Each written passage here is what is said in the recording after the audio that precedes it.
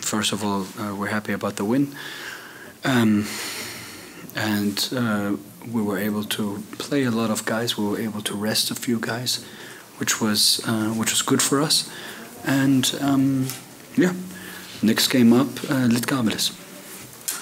Visų pirma, esame patenkinti pergalę. Pavyko šiandien daug žaidėjų pasižaisti, kai, kai kuriem palisėti. Tai yra geras dalykas ir dabar žiūrime į kitas rungtynes.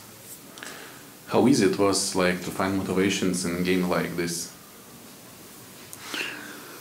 It's, uh, you know, every every time you you play is, is an opportunity to you know do something a little bit better, um, uh, um, try something, especially play um, play a little different personnel. You know, playing Mantas uh, quite a few minutes um, is a good thing for him and therefore also for us. So um, it's not difficult to find the motivation.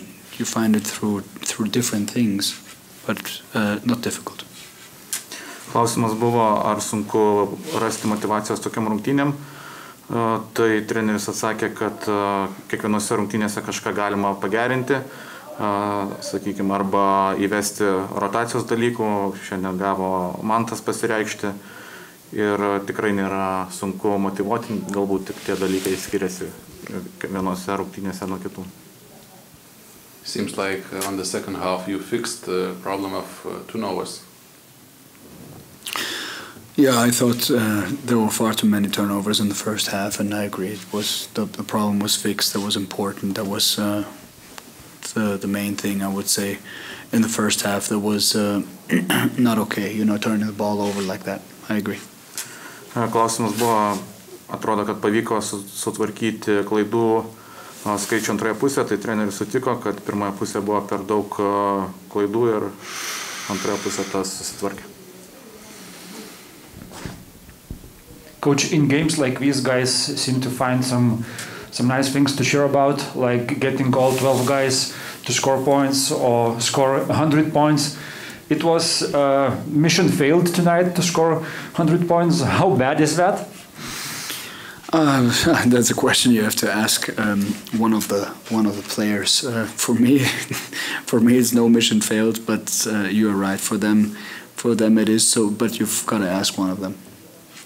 Tokiose rungtynėse žaidėjai susikūrė įvairių situacijų, ar kad 12 žaidėjų pelnytų taškus arba pelnytų 100 taškų, tai ar nebuvo šiandien neįvykdyta misija, nes nebuvo 100 taškų, tai treneris atsakė, kad jam asmeniškai ne, bet galima paklausti žaidėjų apie tai. When do you expect to have Patricio Garino back?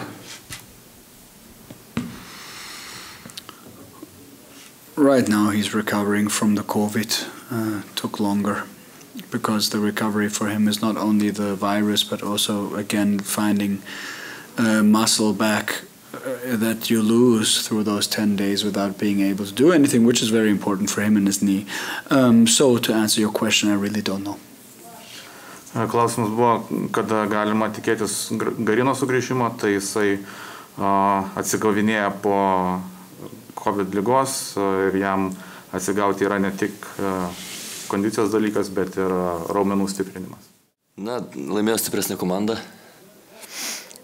Uh, negaliu sakyti, buvo, buvo epizodų, kur visai, visai padoriai žiūrėjomės, buvo takarpų tokių. O šiaip tai neturiu dėlių priekaištų vyrams. Aišku, koncentracijos negalim. Negalim padaryti kartais tų dalykų, kurių taip norisi padaryti, bet, bet kaip sakyt, tokia dalė. Tai va toks būtų mano komentaras. Galbūt ir tokios pusiau atostoginės nuotaikos, kai jau, kaip sakant, šansų patekti atkrintamasis. Negaliu sakyti, kad atostoginės nuotaikos mes vis tiek na, ruošiamės, norėjom kovot. Ir, ir negaliu sakyti, kad vyrai nekovojo. Jeigu sakyčiau, kad mes nekovojom, tai jo, tos atostoginės nuotaikos, bet, bet norim pabaigti garbingai. Ta rotacija labai sutrumpėjusi, bet džiaugsmo turbūt ir Pasevičius, tas pats Rasbadauskas suteikė ir tie epizodai. Matas, tie...